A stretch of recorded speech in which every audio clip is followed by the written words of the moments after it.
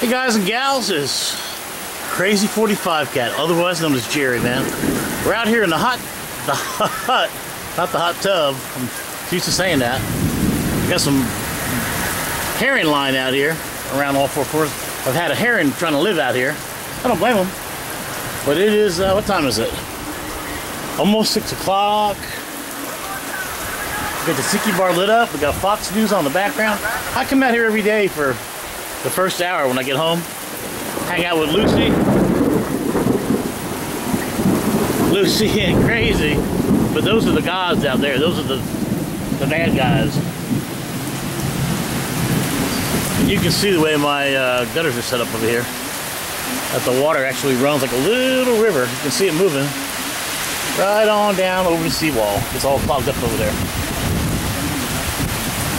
But man, it is raining cats and dogs. And here's a little video of you on my camera. I'm right there. Uh-oh, where'd it go? I'm right there, a little little deal there. Let's see. Get it going again. I don't care about Venice weather. Come on, go back there. You can see we are getting hammered. That's me right there. That red balloon there in St. Pete. And there are some killer storms coming. And it's blowing from south to north with a little uh, wind to the east. It's really, really bad.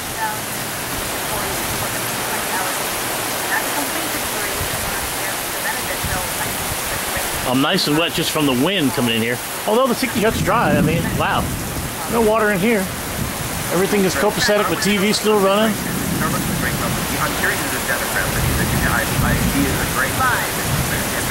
Talking about our wonderful situation in our world, man. Ain't that just great? Wow. Wow, wow, wow. I want to show you here my chair, captain's chair. Sit up here, with my feet up on the table there. No shoes, no socks. It's always 5 o'clock somewhere in here. My owl's turned around. Ooh, baby. But even though it's raining as hard as it is, and I mean cats and dogs. I saw two float by earlier. Uh, in fact, you look across the way there, you'll see that wind and that rain just blowing through here. It's really relaxing to be in the in the uh, tiki hut while it's raining like that. The temperature has dropped at least 15 to 20 degrees. I don't know if I got a thermometer out here anymore. I'm looking around. Nope. But it's probably ah low 80s and, or high 70s right now, and it's just gorgeous out here in the rain. Gorgeous. I hit my doctor today, and uh, he's going on vacation, so I had to go in there a couple weeks early to get my uh, medication for my back, which is really killing me. And I'm pretty stressed, boys and girls, pretty stressed. I got a really big uh, opportunity coming up right now, and if it works out, it's going to be wonderful. If it doesn't, it's still going to be wonderful. But a lot less uh, commuting to work for me. You know, my commute's like three miles a day. I don't know, six miles a day. So we're going to cut that in half, if not less, if everything goes through like I wanted to. Give me a chance to get everything in here, all copacetic, running wonderfully pretty much is by itself.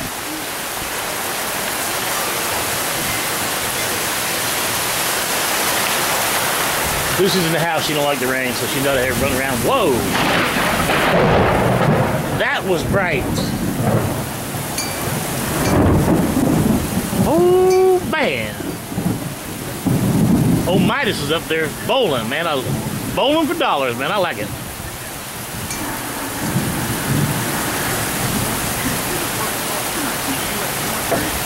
I think our country's in a mess. Our leadership sucks. I hate, I hope and pray for all these soldiers we're putting back over there in Iraq again. I just don't understand it. And I hope that we get it straight. I'm not sure about posting up with Iran. I, I mean, I am not a uh, historian, buff by any means. I know right and wrong, and some things aren't right or wrong. And look over there. That's how much rain it is. There's my neighbor's boat. The bilge pump came on automatically to turn the pump the water out. Mine has to. There's a lot of water coming off that down underneath it. You can see that stripe of water.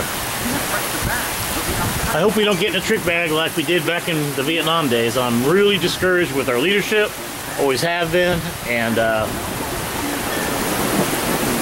man, if I could fix it, I'd be the, I'd be the fixer. But I, I don't have the qualifications for any of that stuff. Uh, neither did the senator from Illinois. So it looks like a crapshoot for our country, and I'm really, really concerned with it. And I feel so bad for young families just starting out. I'm a 60-year-old man. I don't. I'm a lot older than most folks on the YouTube thing here, and uh, have a lot of knowledge. I, I just, I, my heart goes out to brand new families, the kids that are in their 20s and 30s having kids, and seeing what's going on here and the way the government's trying to control health care and everything else right now. You don't have a choice of anything but what they want you to do, uh, unless you are flush with money. It, it ain't going to happen. So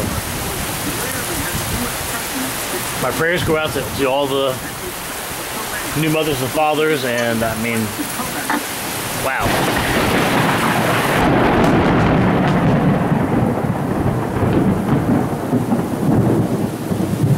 And the gods are angry, I tell you. The gods are angry.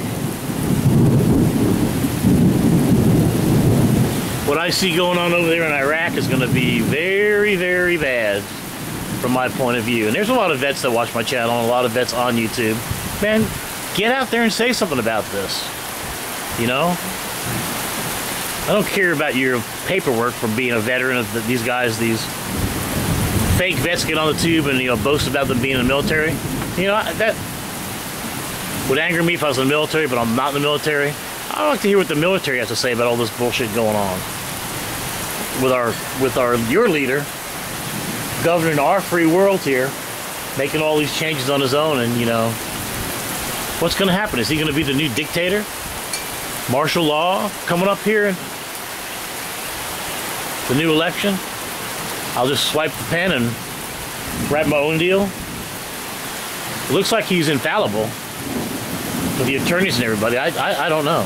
I, I don't know. I got so much going on right now with me and my store and all that I can barely see straight. But I love this country. I'll do whatever I have to do for my country and my family. There's just not a clear choice anymore. I'm not sure what the, what the choices are. Just don't know. I use YouTube for an escape at times and to share stuff with other people. Sharing what it's about. It's not about e-begging. E-begging is the worst. If you all follow my channel, you know what I think about e-begging. You can't get lower than an e-beggar. That's a beggar that asks for money or has other people do the same thing on his behalf. That's all e-begging to me. Now, if you want to go ahead and send people money, be my guest and do it. Just don't put my name down there, okay? I'll help a bum on the side of the road. I'll help a family that doesn't have enough food to pay for their groceries. But I'm not going to give any money to some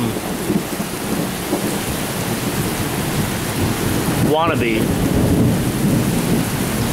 that wants to go out and do a uh, documentary on my dime. Now, you're going to do a documentary, you get a government grant or go do it on your own. Don't ask other people for your money or for your vacations or whatever. That is 100% totally wrong, and I will take that to my grave. That's way, way wrong. You don't take advantage of people, especially kids. You know, YouTube goes to kids too, you know? People that have no knowledge, and it's, it's, it's, it's a great learning tool, but it's also a great way for adults to uh, exploit kids. And I'm not a fan of that whatsoever. Say what it is, tell it like it is, tell the truth. Hey, you might not get a lot of people that like you, but that's me. I tell it like it is. I really don't care what other folks say because I have what I want. I have a desire to help people, to show people, to connect with people. And I don't ask for money or support in that area. I think that's 180 degrees out of what YouTube's all about. But that's my uh, little rant. Got a lot of pressure on me right now, boys and girls. I can tell you in September the what's going on, what I've accomplished by September. But man, I am up till 2 in the morning, not sleeping, going to work by 7.30. Just not a happy time for the cat. And you know, I'm only drinking on the weekends. We started out last weekend, but you know, I needed a beer tonight, so I came out here to share a uh, Corona Light with a neck full of Bacardi Limón. Actually went to the beer and wine store tonight on the way to my doctor's and bought a case and a couple bottles of, of uh, Bacardi because I'm going to be drinking tonight and over the weekend. I won't drink tomorrow. I won't drink. I will drink Friday night after 9 o'clock. Have two at least. But Saturday and Sunday, I'm going to have a, fuck, a couple of uh, adult beverages.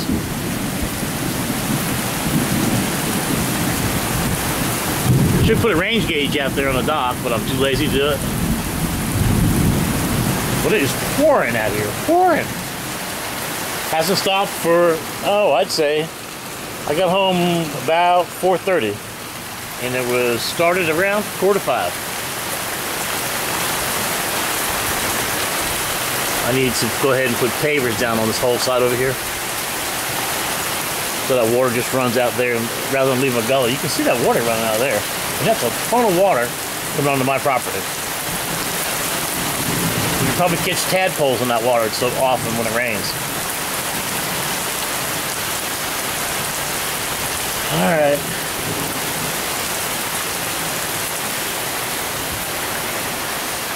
Calming down a little bit now. The wind's not blowing in my face as bad. Now it's coming from the front of the house. You can see that rain. Sheets of rain.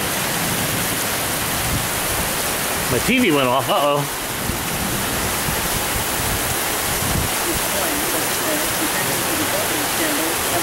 All right. Didn't get wet, which is, I think the power surge knocked it out. House committee investigations appear to be intensifying after the IRS blamed the computer. I can tell you something. Here we go, more rain. I can tell you something about this rain. It is no fun being caught offshore 20 miles offshore in a rain like this. Antennas are up, the fishing poles are up all around the hot, the uh, hard top, and man, you get the vibrations, it's buzzing and doing this and that. Your electronics gonna act crazy, and you're dressed head to toe in rain gear trying to get back to shore. It is not a happy time.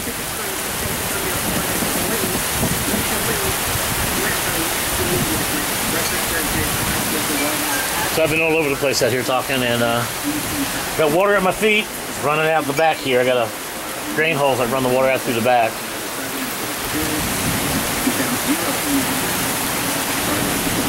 Other than the uh, little rant that I had, things are great, man. I was supposed to cook hamburgers on the grill tonight, man. I ain't cooking out in the rain. Hopefully it'll stop here in, a, in an hour that I can cook, but I'm not standing out in the rain cooking. Hot tub is running. What a godsend that is on the weekends, man. What a godsend. If it wasn't lightning, I'd be in it. But you can see my bilge pump kicking on. You can see that pool of water there coming out of my bilge pump. I actually installed a 500 gallon per hour automatic bilge pump to work by itself automatically as opposed to the two 1500 gallon per hour pumps I have in the boat. I had a little 500 way in the back of my ooh, back of my uh,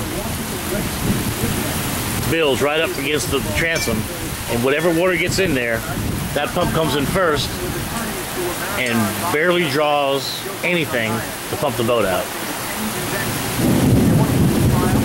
And when we run, run the boat, as you're running, that little actually water runs from the bow back to the stern. You know, once I run it, uh, anything that's in the boat is out there. So when you stop at your spot, the boat is bone dry. You don't want water in the bilge when you're fishing. I can't uh, tell people more about that.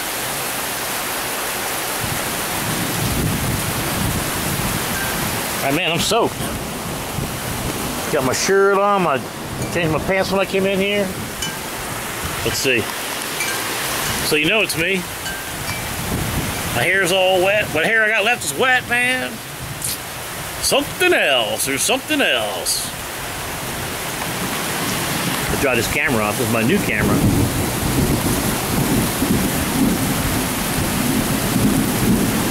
So just so that you know, when I come out there, I sit in my chair over here and this chair over there, play the ball with Lucy up and down the yard, and we just hang out here for an hour every night. Sometimes I put my boat radio on that I have in here, 12 volt radio. Some nice kicks in there, nice speakers. Um, plus I have speakers on the house, that radio's running as we speak. And we hang out for the first hour every night. Just to relax. Then I bring her in, feed her and Crazy Cat, and uh, wait for you to get home.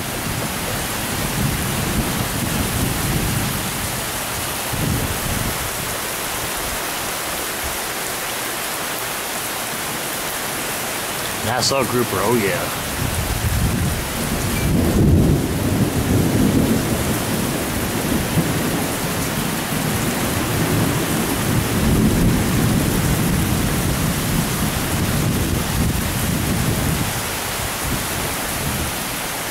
Sure does make a difference having this hut out here, I tell you. In the heat of the day, it's 10 degrees cooler inside here. All right, enough about that. I had to, uh, hey, about a gun thing. I had to, uh, I called um, Midway last night, USA, looking for my Smith & Wesson 669 magazines, and uh, they told me it would be November. So I think they were $33 a piece. I ordered three of them. I immediately got offline with them and uh, got my confirmation that the order was canceled. Went to Smith & W uh, and I ordered three from there. It's going to cost me, I think it's $20 more. It's 143 delivered for three to 12 round mags, which I don't mind spending the money on because I want that gun to run. And uh, a little disappointed because they said they had them. They're coming in June. The guy said, oh, we got an update. They won't be there till November. So I said, well, the hell with that, buddy. Cancel the order. So I should have had the mags shipped out today from Massachusetts, Massachusetts, and I'll probably get them uh, maybe next week sometime. As soon as I do, I'll bring my gun to work with me, and I'll get those mags. I have a box of ammo with me all the time, and we'll uh, run out to the police range and fire that thing off. See what's cracking with that 669. Then I'm going to take it down to my buddy that makes Kydex holsters and have him make me a nice inside the waistband holster for that gun. I really, really like the uh, that double action only trigger that, that sets back to the single action for the first shot with the, uh, there's more water. I'm telling you, there's a ton of water out here.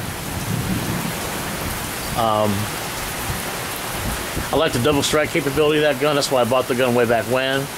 And that was right around the time when the Glocks were out, you know? So I think I had my first Glock. And then I bought that Smith & Wesson in 86, I'm sure, when it first came out. Had it for two, three years before it was stolen. And um, happy to tell you that I'm glad I got it back. That was one of my all-time favorite carry guns.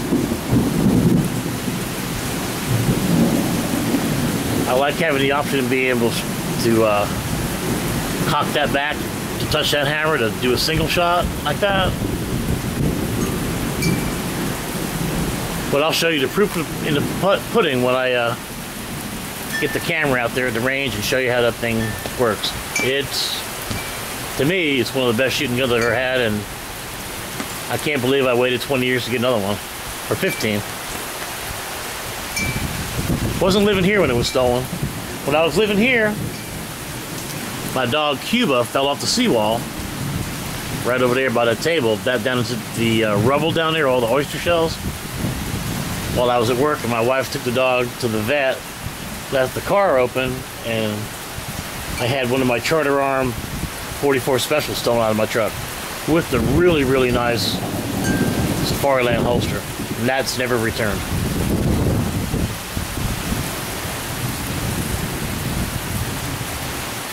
Cuba was good, healed up, and we had the party that night, but wow. Couldn't believe that she uh, left my truck open like that. But that's what happens. Alright, letting down a little bit, I'm going to hit the old umbrella. You think I came out here without an umbrella, do you? Get the umbrella up and go in the house, finish this beer, and uh, check on these burgers I'm supposed to be cooking. You can see this water though. You can see that moving. It's like a creek. The elevation goes that away on an angle. So does my deck. The problem I have is my neighbor's got his all his gutters plumbed into my garden over here. So of this water is coming out of his garden, ruining my seawall. A lot of pressure on my seawall. But we'll get it sorted out.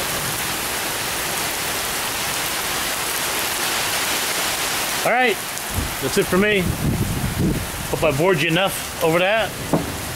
Hey, and don't support these e-beggars, please, guys. Do not support these e-beggars. It's the worst thing you can do.